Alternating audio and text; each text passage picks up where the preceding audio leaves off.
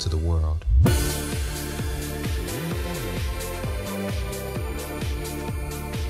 We're here with Grant at the YANGAROO office in New York City. Can you talk a little bit about what you guys do here?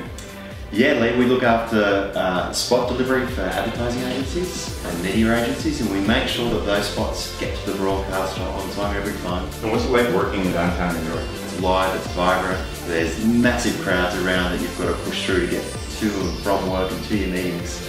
But, you know, um, the bars and the clubs and the excitement of having people working really hard but having fun at night is just a great place to work. Yeah. Why is it such a key role to have a base in New York City?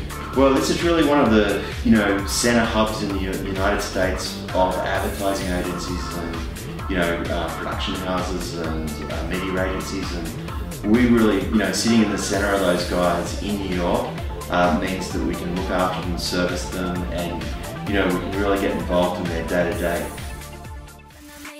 At number 10, it's Stephanie Rose with Crushed. A perfect circle at number 9 with Talk Talk. The Weeknd featuring Kendrick Lamar at number 8 with Pray For Me. At number 7, it's The Heels with He's Not Where I'm Going. Marshmello and Anne Marie at number 6 with Friends. At number 5, it's Dan Davidson with Let's Go There.